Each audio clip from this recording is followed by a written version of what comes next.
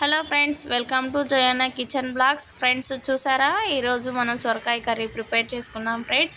ఈ విధంగా మనం ప్రిపేర్ చేసుకుందాం ఓకేనా?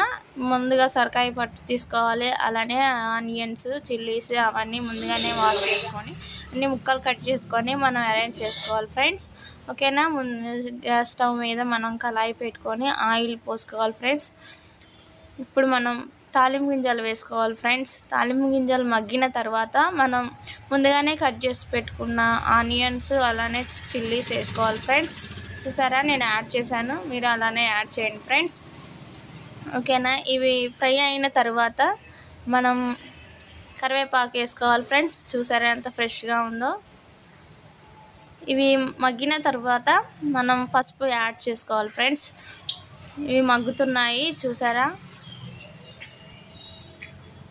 ఈ కర్రీ ఫ్రెండ్స్ బీరకాయ కర్రీ లెక్కే ఉంటుంది. నచ్చని వాళ్ళకి కూడా ఇది ఇష్టంగా తింటారు ఫ్రెండ్స్. ఈ ఈ వేలో మీరు కూడా చేయండి ఫ్రెండ్స్. మంచిగా తింటారు. పిల్లలు కూడా చాలా ఇష్టపడి తింటారు ఫ్రెండ్స్. సొరకాయ కర్రీ ఇష్టం లేని వాళ్ళకి కూడా చా మంచిగా తింటారు. ఓకేనా ఫ్రెండ్స్? ఇలా ట్రై చేయండి. ఇవి మగ్గిన తర్వాత మనం సొరకాయ ముక్కలు వేసుకోవాలి ఫ్రెండ్స్. ముందుగానే కట్ చేసి పెట్టుకున్న సొరకాయ ముక్కలు వేసుకోవాలి. చూసారా? ఇవన్నీ మగ్గాయి. ఇప్పుడు మనం సొరకాయ ముక్కలు వేసుకుందాం ఫ్రెండ్స్. చూసారా? ఫ్రై అవుతున్నాయి. ఇలా ఫ్రై అవుతేనే కర్రీస్ టేస్ట్గా ఉంటుంది ఫ్రెండ్స్. ఓకేనా? చూసారా? నేను సొరకాయ ముక్కలు వేసాను ఇవి ఇవి తిప్పుకోవాలి ఫ్రెండ్స్. ఒకసారి తిప్పుకొని మనం ఒకసారి మనం వన్ స్పూన్ ఆఫ్ సాల్ట్ వేసుకోండి. అప్పుడు మంచిగా ఉంటుంది. ఈ సొరకాయలో సాల్ట్ ఎక్కువ వేయొద్దు. ఎందుకంటే ఉప్పు కషం అయిద్ది అంటారు కదా అందుకని కొంచెమే వేసుకోండి. సరిపోతే లాస్ట్లో ఒకసారి టేస్ట్ చూసే ముందు మీరు వేసుకోండి. ఓకేనా? నేను అలానే వేస్తాను. మీరు అలానే చేయండి. ఓకేనా?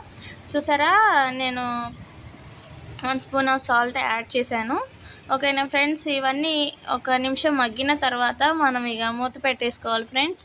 అప్పుడు మనం వాటర్ యాడ్ చేయకుండానే వాటర్ వస్తాయి. వాటర్ యాడ్ చేయొద్దు ఓకేనా? సొరకాయలో వాటర్ కాంటెంట్ ఎక్కువ కాబట్టి మనం వాటర్ పోయిన అవసరం లేదు. ఓకేనా?